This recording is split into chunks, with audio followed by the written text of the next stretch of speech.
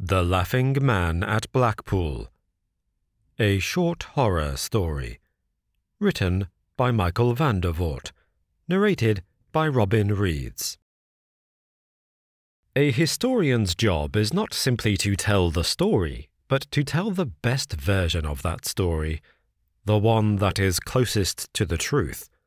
Unlike a novelist or writer who can simply come up with a beginning, middle, and end, arrange them into a neat linear narrative, and call the job done, a historian has to assemble their story from a variety of disparate parts, assessing and evaluating sources to see how reliable they are, and stitching them together like a giant patchwork quilt to form a larger picture of what really happened. Not all sources are equal. Sometimes you're working with primary sources, photo and video evidence, and contemporary documents. Sometimes it's eyewitness testimony from close to the time. On other occasions, the evidence is sparse or detached, separated from the events themselves by decades of time and false memories. No history is 100% true. There is always a subjective bias an angle or a perspective. All of history, all of it, as recorded and reported, is, at best, based on a true story. The one I'm about to tell you is just such a story.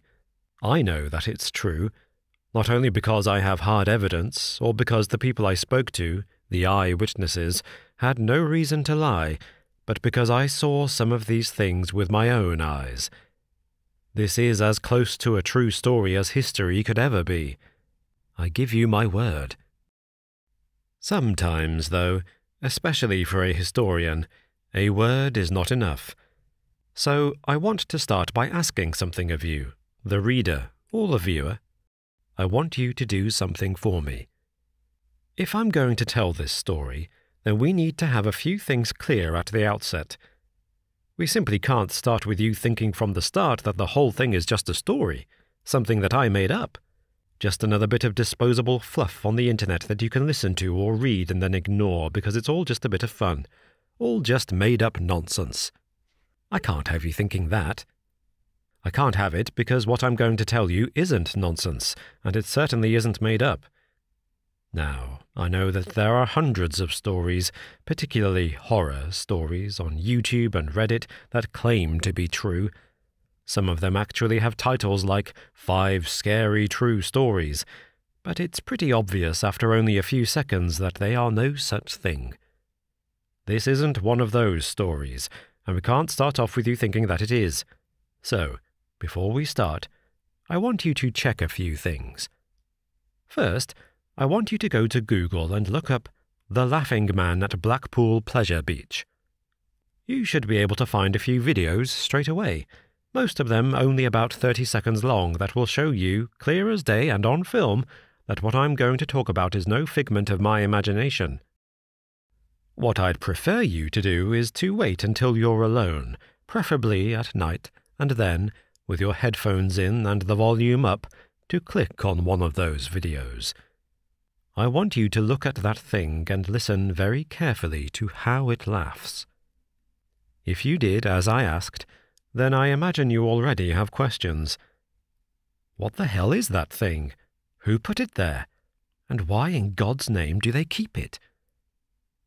I'll answer those questions in time, but first I have to acknowledge the fact that some people are stubborn. For those of you thinking, oh, I'll do it later, or I'll see where the story goes and maybe check it out at the end. I'll make you this promise. If you see this story through to the end, then by the time we finish, you won't need me to ask you. You'll want to check for yourself. Still, for those people who haven't clicked on the stories yet, I should probably describe what you'll see. What you'll find in those videos and images is not some made up monster or crappy AI image what you'll see is proper video footage of a dummy, an animatronic. The footage is from an amusement park in the northwest of England called Blackpool Pleasure Beach. What you'll see in the footage isn't much of the park, perhaps the outlines of a few roller coasters or attractions in the background, but what you will see more clearly is a moving, life size mannequin throwing itself backward and forward while laughing hysterically in a horrible, manic chuckle. Usually, these videos come with a subtitle or comments that say things like, Who else was scared of the laughing man? or a story of how the person who filmed when he was a kid used to dare his mates to run up and touch it. Some mention how, as kids, they would love to visit the pleasure beach, but would sprint past the display case holding the laughing man, and that the face and particularly the laughter would creep back into their thoughts later that night when they were back home safe, alone in the dark. The locals call the dummy the laughing man, but he's also known as the Mad Clown, the Laughing Clown, or the Laughing Jester. This is likely due to the fact that the dummy's costume and even his hairstyle and colour is changed every six or seven months. At times he looks more like a jester, and sometimes more like a clown, other times even like a king. Whatever he is dressed in, however, he is always, always laughing. It isn't a nice laugh either. The dummy itself is about the size of an average person, and it sits inside a six sided glass display case, like some animal you'd see in a cage up the road in Blackpool Zoo. It sits inside this box on a heavy, straight backed chair, a bit like a throne, as if the court jester had somehow managed to steal the king's seat when the regent's back was turned. There's a mechanism below the chair that makes it swing and rotate in these horrible, jarring motions from side to side. As it does, the mummy lurches forward, its hands gripping onto the arms of the chair as it folds at the middle, rocking and lolling backward and forward, flinging its head and jerking its torso so violently that if it were a real person they'd end up hurting themselves. Thing is, you get the feeling that if this was a real person, he'd be far beyond caring. It's the face you remember the face and the laughter. You would imagine that whoever painted the god awful thing back in the early 1910s would have painted it to look jolly or happy. Without a convincing smile or look of happiness, you'd assume the thing would be hard to sell. If that is what the artist was going for, then they certainly missed their mark. The laughing man does not look happy, in any normal sense. As you'll know if you've looked at the footage, there is something distinctly deranged about his appearance, some touch of madness that seems just at its edges to be tinged with the rot of malice and evil. The laughing man's mouth, which I suppose is meant to be open as if he's rolling about laughing, looks objectively and proportionally wrong. It's too wide, too fixed, it's a horrible rictus grin that looks as if the person wearing it has been forced to smile by the tip of a blade and has died with an unnatural gurning smile on their face. The mouth itself has a row of straight white teeth framed with garish red lips, like the makeup of a clown. That would be bad enough, but above that are the eyes. Wild, staring eyes. Now, most people, when in fits of laughter, close their eyes, or at least crease them up. Tears streaming down their cheeks as they go into hysterics. If you were going to draw, paint, or carve someone in fits of laughter, the cheeks would come up and the eyes would look at least half closed. We know this instinctually. That's why there is something so unsettling about the sight of someone laughing with their eyes wide open. Mad eyes, wider than they should ever really be, as if it's what they've seen that's made them laugh like that, with that horrible, bellowing cackle. That's what his eyes are like.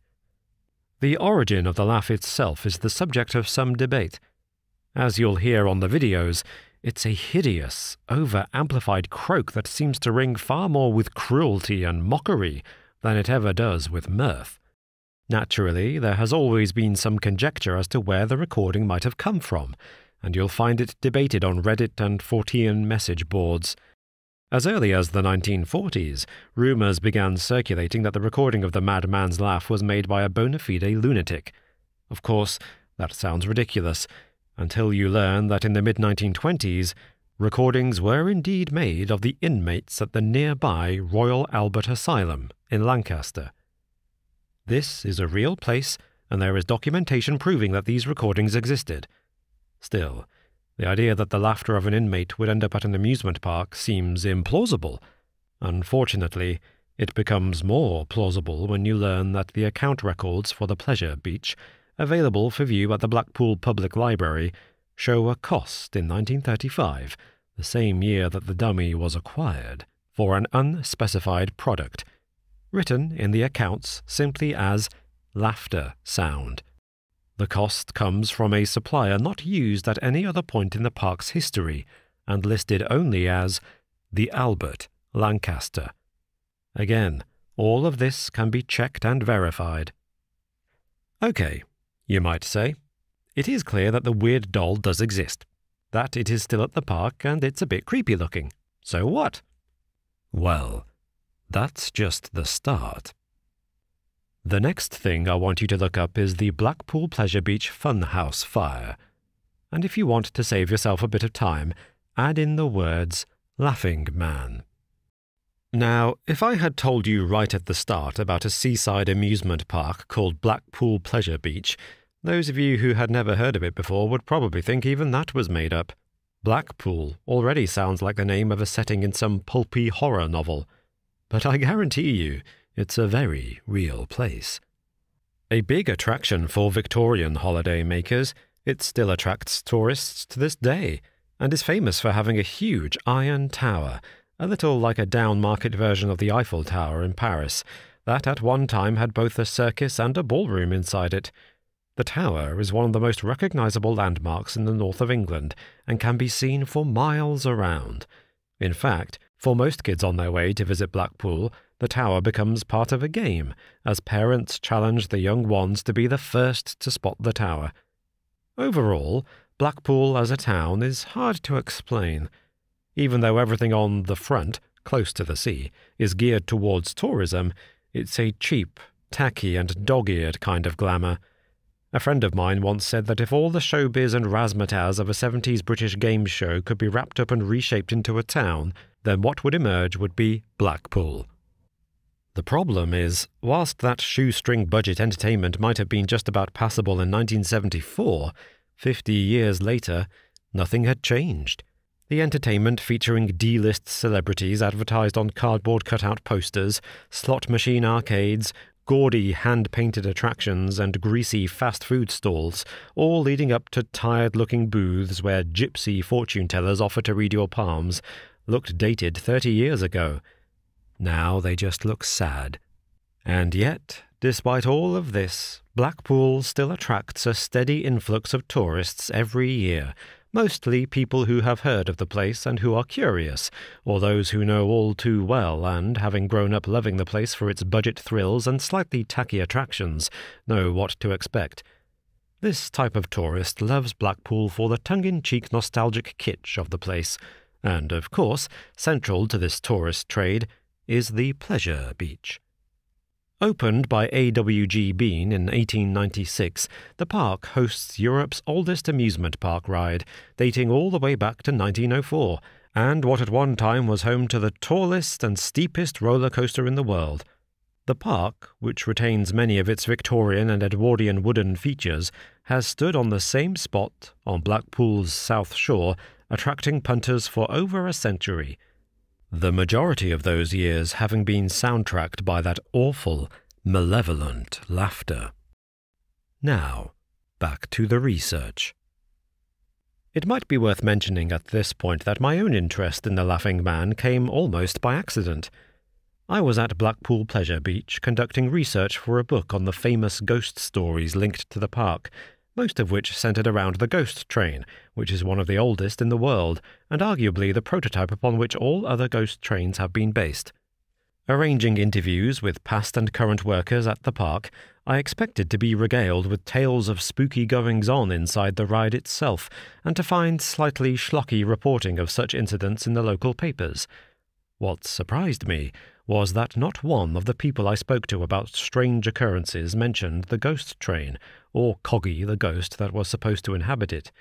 Instead, almost every creepy anecdote, every story of strange occurrences, related back to the Laughing Man, and also to his tiny companion.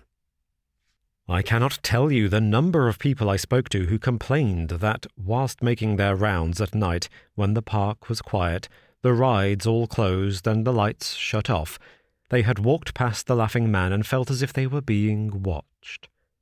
Perhaps more striking than that is the number of witnesses who will still swear with hand on heart that there is some kind of mechanical problem with the dummy that makes it let out peals of laughter even after it has been shut down and unplugged. It shouldn't happen, one former employee told me on tape. But sometimes you walk past it doing your rounds and you feel it looking at you, even with your back to it. Now, obviously, you'd think, oh, don't be daft, you're just winding yourself up. But then you'd walk on a bit and the bloody thing would start laughing. It happened to me twice. I'd spin around and shine my torch on it, and sure enough, he'd be sat there where he always was, still as anything. But it had laughed, it sounds stupid, but you could still feel the noise in the air, you know, like the vibrations or whatever. Now, I'm not soft, but I'm telling you now, you try walking round a fairground at night in the dark, it's bloody creepy at the best of times. There's something not right about that thing. Another, a Mrs. Bexley who worked at the park for over 14 years, told me virtually the same story. I don't know if it's because it's mechanical and not like proper electric, but whatever it is, the bloody thing used to move. I was working in the Horseshoe Bar at the time, which is part of the complex on the pleasure beach, but it's open later. Now, you weren't really supposed to cut through the park at the end of the shift, but the security lads would always let you because otherwise you'd have to walk all the way round. Anyway, you cut through and walk as fast as you could, and you'd have to walk past the dummy, and every single time you'd see it out the corner of your eye as you was walking up. By the time you got there, it'd have moved. Just a bit, not loads, but it'd sort of shift and move in its chair, like it was trying to get a better look at you. Loads of the security lads said it used to laugh. That they'd be doing their rounds, walking between all the stalls and the rides and checking stuff with a torch, and they'd hear it. Sometimes they'd hear it from miles away, on the other side of the park. Sometimes just after they'd walk past. They all hated it.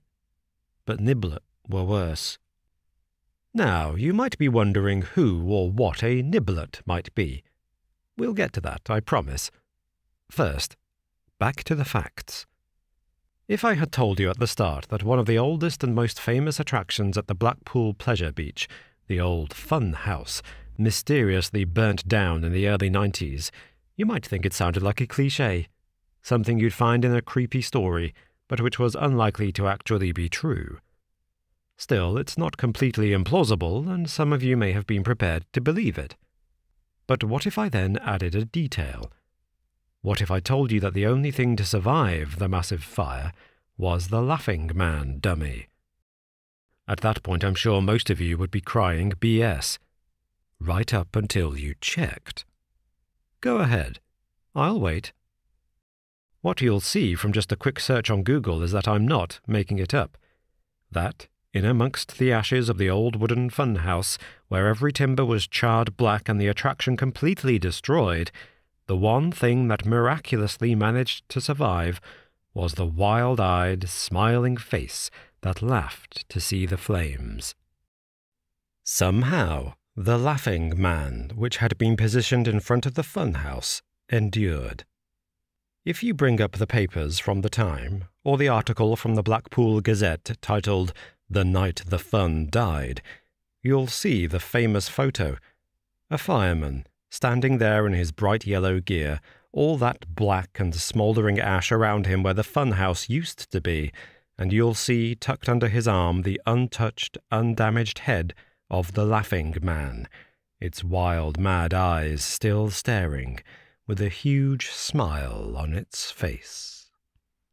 It sounds made up, but it's not. You can check. While you're there, you might as well check what happened on the 31st of August, 2000. To save you some time, you can look at Blackpool Pleasure Beach on Wikipedia and scroll down to the section that covers incidents. You'll see that on that day there was an accident on the Pleasure Beach's biggest attraction, the roller coaster known as Big One. At one time, this was the tallest and steepest roller coaster in the world and was a huge draw for the park. What you'll read on Wikipedia is how a mechanical failure on the brakes led two of the carriages to crash disastrously into each other, injuring 23 people. What you won't read about there, but which you can find if you dig a little deeper, is the fact that the night before that incident, the police were actually summoned to the pleasure beach after hours by the nighttime security staff. Again, this is part of the public record. The police, however, were not summoned to the park because of some sabotage, some intruder, or anything relating to the big one, but because one of the staff had called to report vandalism to the Laughing Man display. Part of it was missing, and assumed stolen. Now, if you go back and look at the images and footage of the Laughing Man, you'll notice that he is not alone in his glass cage. Sitting on the Laughing Man's knee, in full costume and with an equally manic smile, is another little man, a tiny clown. The face of this figure is oddly less human looking. It comes to a strangely pointed shape at the front and resembles, some have said, the protruding snout of a goblin shark. What, exactly, this small figure is intended to actually be is not clear. If it is supposed to be a child, then why is it dressed in the same clothes as the Laughing Man, with a clown's painted face? Why does it have the proportions of an adult rather than a child? Is the smaller figure meant to be a dummy or puppet controlled by the Laughing Man, something that might be used in an act of ventriloquism? Or is it intended to be some kind of sprite or spirit of laughter? The role of this figurine and why it was included at all remains a mystery. What is not a mystery, and what becomes very clear when you speak to witnesses directly, is that it was this figure that scared the park workers most, particularly those who worked security at night. Amongst those who have worked on the pleasure beach, both in daylight and after hours, the little man has a reputation even more sinister than that of his larger companion. To the staff and locals living in the Blackpool area, the smaller figure is known as Niblet. It was also the part of the Laughing Man display reported missing the night before the accident, though by the time the police arrived, it was happily back in its box. We can be certain of this for two reasons. Firstly, there is a police report, and, since it is part of public record, it can be viewed and verified if you inquire about a file request.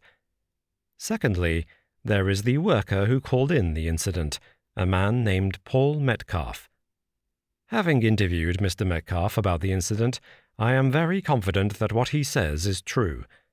According to him, for a period of around two hours, Niblet was missing from the case.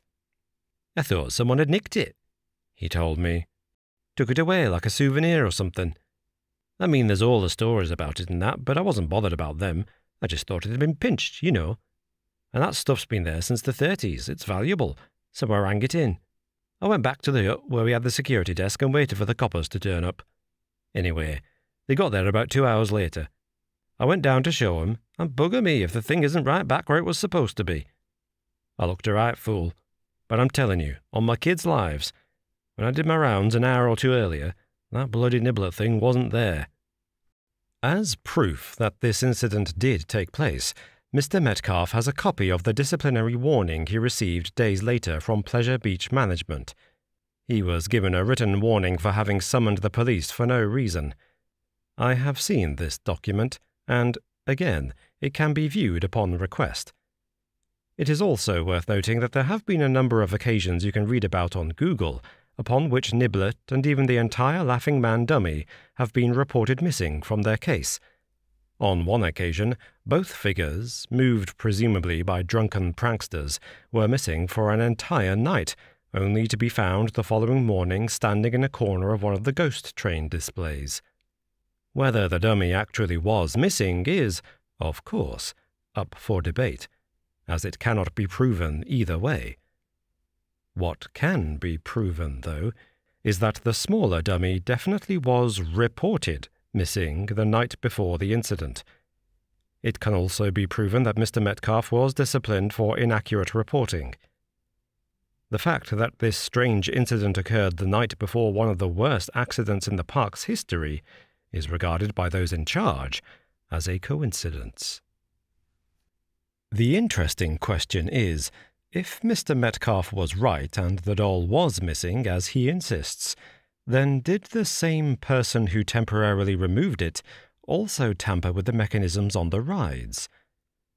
Such a question would be easy to answer were it not for the fact that, as noted in the insurance claim documents for several of those injured in the crash, the security footage from that night for the entire park is missing. What might have been on that footage most can only guess. I, however, have a little more insight.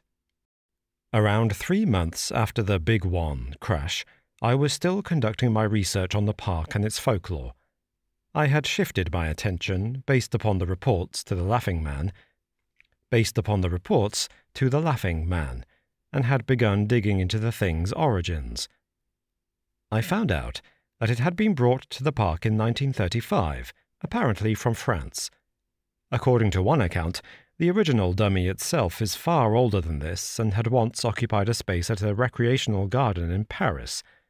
The laughter track was added later, but apparently the head of the dummy, its display case, and niblet were all over fifty years old at the time of purchase. One historian I contacted in France claims to have a painting of a town carnival from 1840 that shows the mechanical laughing man as one of the attractions, though I am yet to see this painting for myself. Over the course of those three months, and particularly after other workers got wind of Mr. Metcalf's story, Others came forward with their own tall tales. Many confirmed the idea that, on occasion, the dummy was known to laugh of its own accord. Others told me of how the cleaning staff often found mice and other small animals dead in front of the display case. One lady I spoke to on record even claimed that on several occasions bits of animals were found inside the case itself. I found a whole cat's leg on Niblet's lap once. A back leg. Just that. Nothing else. Christ knows how it got there, or what happened to the rest of the cat, but it might explain why they change the thing's costume and get up every few months. I mean, there's no real need to do that, is there? Unless it's getting dirty or stained somehow. The somehow in that statement links to my own personal experience at the pleasure beach. Having decided to make the Laughing Man the focus of my work, I asked the management if I might be allowed to photograph the thing at night and interview the security workers. Management agreed, though several workers warned me against it. I don't know about finding bits of cats, one told me. But I'll tell one thing there's some bloody funny looking cats running about in there at night. At first, I didn't quite understand what he meant by this until one of his colleagues clarified. Yeah, funny looking cats. They run about on two legs. He further explained that many workers claimed to have seen similar things, either on camera or with their own two eyes. Something standing upright and no bigger than a large house cat, scurrying and rushing between the rides. I was up by the Big Dipper, said one man whose testimony I have recorded and I was just on my way back when I saw somewhat moving about behind me. I didn't see it straight on, mind. It was in the reflection in one of the booth windows, but I still saw it. Now everybody's told me it were a cat or a dog or whatever, but I'm telling you now, I looked in that window and, well, it were a little man. Like somewhat from one of them Punch and Judy shows, about two foot tall. It ran out from behind the bin and then ran off behind one of the stalls. That was the last time he ever did one of them rounds. I moved to the day shift the next morning. Sold that for a game of soldiers. I said at the start that a historian has to be picky about what sources he includes, that he must weave his story carefully, relying on worthy sources. I'm sure that by now some of you will think I've strayed from that goal. But I'll tell you why I haven't. Because I believe every word that these eyewitnesses told me I believe them because I've seen it for myself. The night before I was scheduled to take my photographs, I visited the security booth and met the staff who would be taking me around after closing time. The security center, or hut as they called it, was positioned toward the front entrance of the park, but since I had spent the day talking to the workers on the ghost train at the other end of the pleasure beach, getting to the hut meant crossing the park long after closing. By the time I set off on the walk from one side to the other, the sun had already gone down. In some corners, a cleaner could be spotted still shuffling around, sweeping litter into a dustpan or checking the external locks on a ride, but for the most part the place was deserted. To say that the place wasn't already a little eerie would be a lie. During the day, the pleasure beach is a cacophony of noise laughter, screams, music, and sound effects competing from the rides, and tinny, over amplified music blaring out from every speaker. Throw in the smells of donuts and candy floss, the barrage of garish colours from prizes and rides, all screaming for attention, and the entire place is an overload for the senses. Until it's not. There is always something about visiting a place usually filled with people and activity, when the people have been removed, that renders it instantly unsettling. Whilst they are empty in a very literal sense, there is more to it than that. A cavernous, hollow sense of absence creeps across the place, as if the soul and the flesh have been removed, and now only the echoes and bones that remain. They are too still, too empty. At night, the contrast is stark.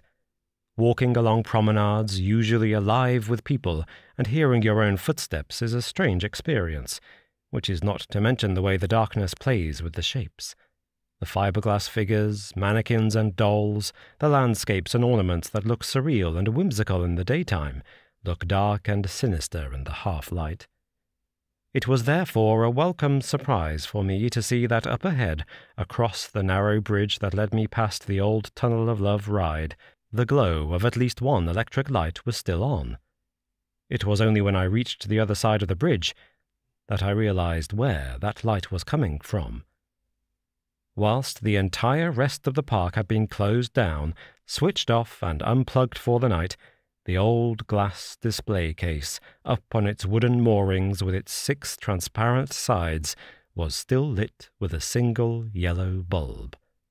Inside, the laughing man, whose sound effects and mechanics had clearly been shut off, lay slumped to one side, his head lolling slackly over one shoulder, mouth still fixed in that awful grin, and his mad eyes still staring.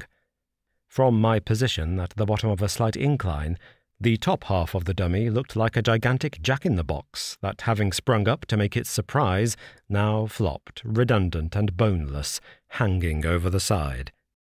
I took a few steps forward, then stopped, aware now not only of the sound of my footsteps, but knowing deep down that I was attempting to put as much distance as possible between myself and this thing. I remembered again how children would run past him, how their smiles would evaporate and they would grow suddenly subdued, huddling around their parents' legs when forced to walk near the thing. It really was a hideous object. The downward light, fixed in position as it was above the figure, somehow made it look even worse, painting the features with long, palsied shadows that seemed to drip and melt off the carved contours of the face. I'm happy to admit that for a long moment I paused in front of that thing on its throne and felt suddenly very alone. Looking around me for some other soul, a cleaner, a security guard, any shuffling someone who might also be here after hours, I found no one. So instead, I moved, slowly and somewhat gingerly, toward the seated figure walking in a long, extended horseshoe around the thing so as to be as far from it as possible. Why? I asked myself. Did I really think it would reach out toward me? That it might, in a slow, deliberate motion, ease itself up to standing, pushing off from the arms of the chair and step clumsily toward me? Why? I asked myself over and over. When every other ride had been shut down, would this one light remain on, leaving this grotesque thing to slump and gloat. A careless cleaner or attendant? An oversight by whomever had been given the responsibility of turning the damn thing and its mechanism off. Clearly, it had to be one of those two options.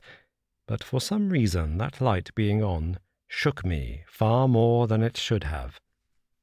Not just because of the laughing man, but because of Niblet.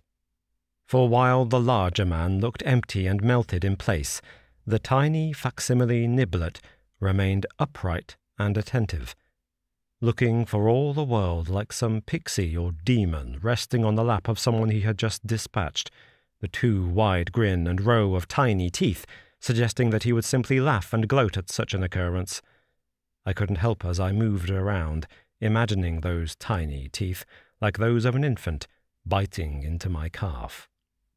I swallowed hard and told myself that I was being stupid, that I should grow up and grow a pair, as I moved more hurriedly past the laughing man, the stupid dummy in his stupid box, and, just as I had reached the point where I could put the thing behind me and rush off toward the security hut, I saw on the surfaces before me a shift and change in the shadows. The light in the display box had gone out. I turned slowly and looked back at the laughing man. There he was, silent and in situ, still with the devilish imp resting on his lap, but now in darkness. Perhaps, I thought, the light was on a timer or a motion sensor. Perhaps the lights had been switched off at the mains somewhere else in the park, and the whole thing was just a coincidence. Still, it was a coincidence that made my stomach flip. The thought that the light had gone off just after I had passed, suggesting that it had also been turned on for me and me alone, was unnerving. I never told the men in the security hut about the light. Instead, I pretended like nothing had happened, and like I wasn't in any way disturbed by the laughing man. That was until around 11 p.m. I was midway through a conversation about the old Tunnel of Love ride when one of the men called me over to a CCTV monitor and pointed. He told me to watch in the bottom left corner, adding no other comment than, He's at it again. What I saw on the screen darting between the walls and the supporting struts for the rides, looked in some ways like a child, but far smaller and done up in fancy dress. The image was blurry in the dark, but I could see clearly that the figure, only around a foot and a half tall, was wearing a tiny clown outfit. I felt as if I would be sick. Reeling back, I looked at the other men also watching the footage. After a few seconds, one of them announced that I had better get a good look. Management will erase that tomorrow, he said, straight lipped and terrified, slowly shaking his head. He never did explain why. You'd be better off coming back tomorrow to take your pictures, lad, he added, when all the bits that should be there are where they should be. Despite what was written on the duty rota stuck up on the wall for all to see, None of those men left the hut that night. In fact, they locked the door from the inside. They didn't give a reason why, and I didn't ask. To me, it seemed fairly obvious. There were things moving out there that shouldn't be. The following night, I took my photographs. I was with two other workers both of whom said without a moment's hesitation that they blamed the Laughing Man for the crash and several other incidents at the park over the years. One told me that the day after the crash they had found several bolts, gears, and fragments of structural machinery inside the display box. It's like he took 'em and kept 'em. I reckon he does it a lot when he's out on his errands, he said. He also mentioned that malfunctions on the rides were far more common than we know. He mentioned that after the Big One crash, the park had hired eight more mechanics and instructed them to thoroughly check each of the large roller coasters every morning, looking particularly for missing pieces. Why, and indeed how, vital pieces of a ride could go missing in the night is anyone's guess. My companion had his own rather strange theory about that, though, of course, I have no way of proving it. What I can prove, by way of photographs sent to me by individuals still working at the pleasure beach, is that the management have taken their own special precautions. Whilst changing the costume on the Laughing Man dummy, a worker noted that some alterations had been made to the display. The photographs confirm that, as of late 2023, whilst the laughing man can still be seen rocking backward and forward in his case, he is now actually welded into the seat, his feet bolted to the floor. Niblet, meanwhile, a tiny accessory that should be of no real concern to anyone, has been nailed firmly in place, with each tiny leg strapped to the surface below with thick steel cables, fixed to Laughing Man's lap.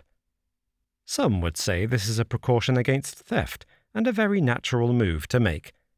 All I will say is that clearly someone is very keen to ensure that these figures remain exactly where they are.